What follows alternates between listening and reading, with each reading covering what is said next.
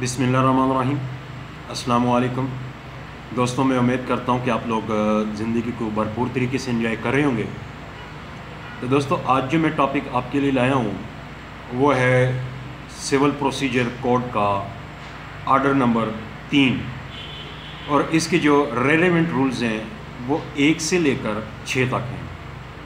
اور یہ ہے ریکاگنائز ایجنٹ اینڈ پلیڈر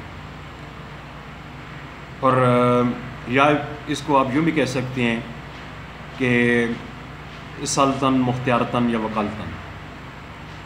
تو ٹاپک پر آنے سے پہلے میں آپ لوگوں سے گزارش کرتا چلوں، یہ جو میرا چینل ہے پلیٹ فار جسٹس کائنڈلی آپ اس کو سبسکرائب کر دیں۔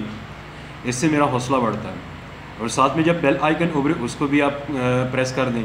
اس سے میری ہر نئی آنے والی ویڈیو آپ کو بات پل ملتی رہے گی۔ تو دوستو ٹاپک پر آنے سے پہلے میں تھوڑا سا آپ کو تھوڑا سا بریف کر دوں اس آرڈر کے بارے میں۔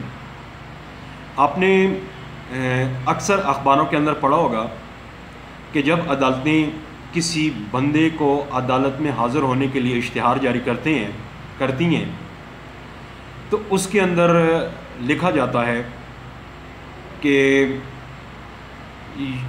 تم کو حکم صادر کیا جاتا ہے کہ تم فلاں تاریخ کو صبح آٹھ بجے اس سالتن وکالتاً یا مختارتاً پیش عدالت ہو کر اپنے مقدمے کی پیروی کرو، بصورت دیگر یک طرفہ کاروائی عمل میں لائی جائے گی۔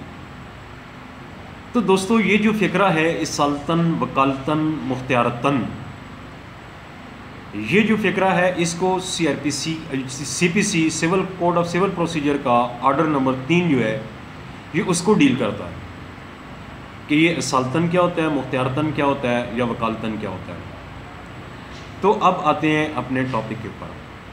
تو اس کا جو سب سے پہلا رول ہے آرڈر تھری کا رول ون وہ ہے اپیئرنس اب کوئی بھی فریق مقدمہ جب عدالت کے اندر پیش ہوگا، تو اپیئر ہوگا عدالت کے اندر۔ یا عدالت کے اندر کوئی ایکٹ کرے گا، یا عدالت کے اندر کوئی اپلیکیشن کرے گا، تین چیزیں ہیں۔ اپیئر ہوگا، یا کوئی ایکٹ کرے گا، یا کوئی اپلیکیشن کرے گا۔ تو اس کے لیے ضروری ہے کہ یہ تینوں کام یا تو وہ اس سالتن کرے گا، یا وکالتاً کرے گا، یا پھر مختارتاً کرے گا۔ اب میں آپ کو تھوڑا سا مزید ایلوبریٹ کر دیتا ہوں کہ اپیئرنس کس کو کہتے ہیں؟ اپیئرنس کہتے ہیں to represent someone in the court of law to represent someone in the court of law کہ کسی کو ریپرزینٹ کرنا عدالت کے اندر اپیئرنس کہتے ہیں۔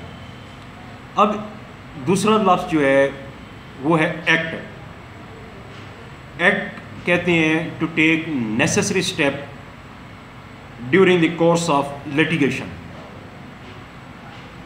act میں کون کون کیا چیز آتی ہے?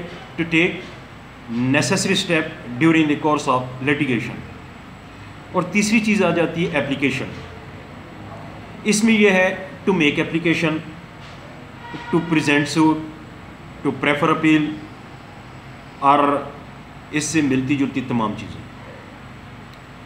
اب یہ تین کام جب کوئی بندہ عدالت کے اندر کرنا چاہتا ہے یعنی کہ وہ اپنی اپیئرنس عدالت کے اندر پیش کرنا چاہتا ہے، یا عدالت کے اندر کوئی ایکٹ کرنا چاہتا ہے، یا عدالت کے اندر کوئی اپلیکیشن کرنا چاہتا ہے۔ تو یا تو پھر وہ اصالتاً کرے گا، یا وکالتاً کرے گا، یا پھر مختارتاً کرے گا۔ تو یہ ہے رول ون اب آ جاتے ہیں رول ٹو کے اوپر۔ رول ٹو کیا کہتا ہے رول ٹو ڈیل کرتا ہے ریکگنائز ایجنٹ کو مختار تن کو۔ اب کوئی بھی فریق مقدمہ اپنی طرف سے کسی بندے کو مختار نامہ اٹیسٹڈ دے کر اس کو یہ کہہ سکتا ہے کہ تم میری طرف سے اس مختار نامے کے روح سے جو کہ مصدقہ ہے آپ عدالت کے اندر جاؤ اور میرے بیہاف پر تم اپیئر ہو یا کوئی ایکٹ کرو یا کوئی اپلیکیشن پیش کرو۔ یہ تین تم کام مختار نامے کے ذریعے کر سکتے ہو۔ اور پھر جو مختار ہوتا ہے، پھر آگے اگر وہ پلیڈر کو ہائر کرتا ہے تو اس کی مرضی۔ اس کے بعد دوسری چیز دوسری چیز یہ ہے کہ جو لوگ کسی کمپنی وغیرہ میں کام کرتے ہیں یا کسی کمپنی کو جب کہیں ریپرزینٹ کرنا ہو، تو اس کے لیے ضروری ہے کہ کمپنی نے جو اس مقصد کے لیے اپنا نمائندہ متعین کر رکھا ہے، اس عدالت کی جورسڈکشن کے اندر کہ جہاں کمپنی کا کوئی صدر دفتر نہیں ہے یا پرنسپل آفس نہیں ہے یا کوئی ان کا ذیلی دفتر نہیں ہے لیکن ان کی کمپنی کی جو پروڈکٹس ہیں، اس کا جو بزنس ہے، اس عدالت کی حدود کے اندر ہوتا ہے۔ تو اگر انہوں نے اپنے کسی کسی بندے کو، کسی ملازم کو اگر ایجنٹ مقرر کر رکھا ہے، تو پھر وہ بندہ عدالت کے اندر اس کمپنی کے بحاف کے اوپر اپیئر ہو سکتا ہے ایکٹ کر سکتا ہے اپلیکیشن کر سکتا ہے۔ تو اس کے بعد، اس کے بعد آ جاتا ہے جی رول تھری آرڈر تھری کا رول تھری اب آرڈر تھری کا رول تھری یہ کہتا ہے کہ جب بھی کوئی سروس آف دی سمن اگر کرنی مقصود ہو تو وہ ریکگنائزڈ ایجنٹ کو اگر کی جائے، اگر عدالت کی طرف سے کوئی سمن ریکگنائزڈ ایجنٹ کو یا مختار کو اگر بھیجا جاتا ہے اور وہ اس کو وصول کر لیتا ہے تو عدالت اس کو پھر سفیشینٹ سمجھتی ہے۔ اس تعمیل کو سفیشینٹ سمجھے گی۔ مختار جو دستخط وصولی کر کے دے گا، تو وہ اپنے پرنسپل کی بہاف پر یا اپنے موکل کی بہاف پر یا جو جس کو جس نے جس کی طرف سے مختار تن وہ پیش ہو رہا ہے، اس کی طرف سے فریق کی طرف سے یا مدعی یا مدالیہ کی طرف سے جو مختار ہے اگر وہ سمن کے اوپر دستخط کرتا ہے، تو یہ سمجھا جائے گا کہ یہ دستخط اس فریق مدعی یا مدالیہ نے صدر دستخط سب کیے ہیں۔ اور اس میں اگر مثال کے طور پر عدالت یہ سمجھتی ہے کہ یہ مختار جو ہے، وہ اکارڈنگ ٹو لا نہیں چل رہا، تو پھر کوئی دیگر حکم بھی صادر کر سکتی ہے۔ اس کے بعد آ جاتی ہے جی آرڈر تھری کی رول چار۔ اب رول چار کے اندر اپوائنٹمنٹ آف پلیڈر کا ذکر کیا گیا۔ وکیل کے مقرر کرنے کا، پلیڈر کے مقرر کرنے کا، بیرسٹر کے مقرر کرنے کا، ہائی کورٹ کے وکیل مقرر کرنے کا، یا جو سپریم کورٹ کا وکیل ہے، اس کو کیسے آپ نامینیٹ کریں گے؟ کیسے آپ اس کو مقرر کریں گے؟ کیسے آپ اس کو ہائر کریں گے؟ اس کی سروسز آپ کیسے لیں گے؟ اس میں اس چیز کو ڈسکس کیا گیا۔ اس میں یہ کہا گیا ہے، پہلی بات انہوں نے یہ کی ہے کہ کوئی بھی شخص یا کوئی بھی وکیل یا کوئی بھی پلیڈر اپنے موکل کے تحریری تحریری اجازت کے بغیر وہ کسی عدالت کے اندر پیش نہیں ہو سکتا۔ جب تک موکل اپنے وکیل کو تحریری طور پر ایتھورائز نہیں کر دیتا یا تحریری طور پر اس کو وکالت نامہ نہیں دے دیتا اس وقت تک وہ وکیل صاحب اپنے موکل کی طرف سے کسی بھی مقدمے کے اندر، عدالت کے اندر پیش نہیں ہو سکتے۔ دوسری بات انہوں نے یہ کی ہے کہ جب وکیل اور موکل کے درمیان، جب پلیڈر اور کلائنٹ کے درمیان، جب کونسل اور کلائنٹ کے درمیان معاملات طے پا جاتے ہیں کسی مقدمے کو کنڈکٹ کرنے کے لیے، تو پھر ان دونوں کے لیے جو ضروری ہے کہ وہ کلت نامے کے اوپر وکیل صاحب بھی دستخط کریں اور ان کا موکل بھی دستخط کرے اور اس کو پھر عدالت کے اندر پیش کریں۔ عدالت اس کو قبول کرتی ہے۔ تو پھر وکیل صاحب جو ہیں وہ لیگلائز ہو جاتے ہیں ایتھورائز ہو جاتے ہیں اس اپنے کلائنٹ کی بحاف کے اوپر عدالت کے اندر مقدمہ کنڈکٹ کرنے کے۔ اب اس کی انہوں نے مزید تھوڑی سی وضاحت کی ہے۔ کہ وہ وکالت نامہ اس وقت تک کارآمد رہے گا جب تک وہ فریق اپنی مرضی ظاہر نہیں کر دیتا۔ یا وہ وکیل اس سے یا وہ موکل دستبردار نہیں ہو جاتا، یا وہ موکل مر نہیں جاتا، یا جب تک مقدمہ ختم نہیں ہو جاتا، وہ وکالت نامہ کارآمد رہتا ہے۔ اس میں اس نے اگلی بات یہ کی ہے کہ وکیل موصوف جب ان کو ایتھورائز کر دیا، موکل نے، کسی فریق نے، کسی مدعی نے، کسی مدعلہ نے، تو پھر وہ اپنے موکل کی بنا بحاف پر عدالت کے اندر وہ اپیئر بھی ہو سکتے ہیں ایکٹ بھی کر سکتے ہیں اور اپلیکیشن بھی کر سکتے ہیں۔ یعنی وہ دعویٰ بھی دے سکتے ہیں، جواب دعویٰ بھی دے سکتے ہیں، اپیل بھی کر سکتے ہیں۔ اچھا۔ کوئی خرچہ بھی داخل کر سکتے ہیں گوہان کی شہادت بھی کروا سکتے ہیں، یا داخل، یا عدالت جو خرچہ وصول بھی کر سکتے ہیں۔ اور جتنے بھی وہ لیگل ایکٹس ہیں، وہ ان اپنے موکل کی بیاہ پر عدالت کے اندر کر سکتے ہیں۔ اس کے بعد انہوں نے ایک اور بات کی ہے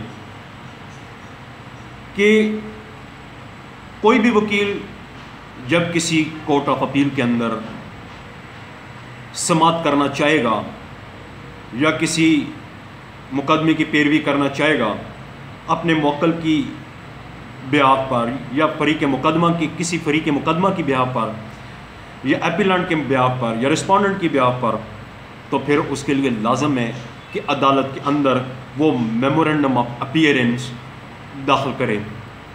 اور میمورینڈم آف اپیئرنس کے اوپر اس وکیل موصوف کے اور اس اپیلانٹ کے یا اس رسپونڈنٹ کے دستخط ثبت ہوں گے۔ اور اس میمورینڈم آف اپیل جو ہے میمورینڈم آف اپیئرنس جو ہے، اس کے اوپر جو کنٹینٹس ہوں گے، اس میں سب سے پہلے فریقین مقدمہ کا نام لکھا جائے گا۔ یعنی کہ A B C versus X Y Z دوسرا، وہ فریق اگر مدعی کی طرف اپنا ایپیلانٹ کی طرف سے ہے، تو ایپیلانٹ کا نام پتہ لکھے گا۔ اگر وہ رسپونڈنٹ کی طرف سے ہے، تو رسپونڈنٹ کا نام پتہ لکھے گا۔ تو اس کے اندر تیسری چیز یہ ہے کہ پھر اس بندے کا، اس فریق کا نام لکھے گا کہ جس فریق نے اس وکیل صاحب کو ایتھورائز کیا ہے اپیل کے اندر۔ یہ چیز لازم ہے۔ اس کے بعد انہوں نے ایک اور بات کی ہے کہ جب کوئی ایسا شخص کہ جو کہ ان پڑھ ہو، جو عدالت کے امور سے نہ واقف ہو، عدالت کی کارروائی کو وہ نہ سمجھتا ہو جاہل ہو گموار ہو۔ اگر اس شخص کا مقدمہ عدالت کے اندر آتا ہے، تو پھر ہائی کورٹ جو ہے، اپنے کسی حکم کے تحت کوئی وکیل، کوئی پلیڈر نامینیٹ کرے گی، تاکہ وہ اس ان پڑھ شخص کی عدالت کے اندر وکالت کر سکے۔ اس کے بعد انہوں نے اگلی بات یہ کی ہے کہ کوئی بھی شخص اس وقت تک کسی بھی فریق کی طرف سے وکیل مقرر نہیں ہو سکتا، جب تک دستخط شدہ وکالت نامہ داخل عدالت نہیں کر دیا جاتا۔ جس میں فریقین مقدمہ کے نام لکھے ہوں گے اور وہ بندہ جس کو وکیل نامزد کیا ہوگا یا وکیل نامزد کیا جانا مقصود ہے، اس وکیل کا نام ہوگا اور اس وکیل کے دستخط ہوں گے اور وکیل اس کو ایکسیپٹ کرے گا اور اس کے نیچے اپنا دستخط کرے گا اور وہ وکالت نامہ عدالت کے اندر داخل کروائے گا۔ جب تک یہ کام نہیں کرے گا، اس وقت تک وہ وکیل عدالت کے اندر اپیئر نہیں ہو سکتا، جب تک کہ وکالت نامہ داخل عدالت نہیں کر دیتا۔ اس کے بعد، آ جاتی ہے دوستو آرڈر تھری کا رول فائیو اس میں یہ کہا گیا ہے کہ جب کوئی وکیل صاحب کسی مقدمے کے اندر وکیل نامینیٹ ہو جاتے ہیں موکل ان کو ایتھورائز کر دیتا ہے کہ اس کے بحاف کے اوپر وہ عدالت کے اندر جائے۔ کوئی اپیئر ہو، کوئی ایکٹ کرے، کوئی اپلیکیشن دے، تو پھر اگر عدالت نے اس فریق کو یا اس موکل کی طرف کسی نوٹس کو سرو کرنا ہو، کسی سمن کو سرو کرنا ہو، یا اس تک کوئی پیغام پہنچانا ہو، تو پھر وہ وکیل صاحب کو اگر عدالت نوٹس بھیج دیتی ہے، کوئی سمن بھیج دیتی ہے تو اس وکیل صاحب کے دفتر کے اندر، ان کے ٹیبل کے اوپر، ان کے چیمبر کے اندر، یا جو جہاں ان کے رہائش ہے، یا ان کے باروم کے اندر اگر کوئی پیادہ جا کے تعمیل کروا دیتا ہے اس نوٹس کی تو پھر عدالت، اگر وکیل صاحب اس کے اوپر دستخط کر دیتے ہیں، تو عدالت پھر اس کو سفیشینٹ تعمیل سمجھ سمجھے گی۔ اور اس کے بعد آ جاتی ہے آرڈر تھری کا رول سکس۔ اب اس میں یہ کہا گیا ہے آرڈر سکس کے اندر، کہ یہ جو ایجنٹ ہے agent to accept the service اب مثال کے طور پر ایک ریکگنائز ایجنٹ ہے، جس کا ذکر انہوں نے یہ جو رول ٹو ہے، اس کے اندر کیا گیا ہے کو چھوڑ کر کسی ایسے بندے کو ایجنٹ مقرر کیا جاتا ہے۔ ایک تو وہ ریکگنائز ایجنٹ ہو گیا، لیکن کسی ایسے بندے کو ایجنٹ مقرر کیا جاتا ہے جو عدالت کی حدود کے اندر رہتا ہے۔ تو کہنے کا مقصد اس میں یہ ہے کہ جب کوئی کمپنی اپنا کوئی ایجنٹ مقرر کرتی ہے کسی ایسے علاقے کے اندر جو اس عدالت کے حدود یا جورزیکشن کے اندر آتا ہے جہاں اس کمپنی کا کوئی صدر دفتر یا پرنسپل آفس یا کوئی برانچ آفس نہیں ہے، تو وہاں اگر اس کمپنی نے اپنا کوئی بندہ سب ایجنٹ بنایا ہوا ہے، تو عدالت کے اندر آ کے وہ کمپنی کہتی ہے کہ یہ اس بندے کو میں نے اپنا ایجنٹ بنایا ہے، اور وہ تحریری طور پر لکھ کر اس کا نام پتہ لکھ کر عدالت کے صفحہ مثل کے اوپر لگا دیتی ہے۔ وہ عدالت کے پریزائڈنگ آفیسر کو دیتی ہے کہ اس کو صفحہ مثل کے اوپر لگا دیا جائے۔ تو پھر عدالت اس مقدمے کے اندر اگر کوئی بھی کسی بھی قسم کا سمن ہو نوٹس ہو، کوئی بھی تعمیل کروانی یا پیغام جو بھی بھیجنا مقصود ہو، تو اگر وہ اس سب ایجنٹ جو ہوتا ہے، اس کو اگر بھیجتی ہے اور وہ ایجنٹ اس کے اوپر دستخط کر دیتا ہے، تو پھر عدالت اس کی eh, سروس کو سفیشینٹ کنسیڈر کرے گی۔ تو دوستوں میں امید کرتا ہوں کہ میرا جو آج کا ٹاپک ہے ریکگنائز ایجنٹ اینڈ پلیڈر یہ آپ کو کلیئر ہو گیا ہوگا۔ اگر کلیئر ہو گیا ہے، تو آپ اپنے دوستوں کے ساتھ شیئر کریں۔ اور میرے اس چینل کو سبسکرائب بھی کریں، اس کو لائک بھی کریں۔ اگر آپ سمجھتے ہیں کہ میں نے کوئی ایسی بات جو کہنی چاہیے تھی، نہ کہہ سکا، یا جن جو نہ کہنی چاہیے تھی، کہہ دی، اس کے بارے میں آپ مجھے کمنٹس بھی کر سکتے ہیں۔ اور میں اپنی نئی ویڈیو کے آنے تک آپ سے اجازت چاہوں گا۔ اللہ حافظ۔ السلام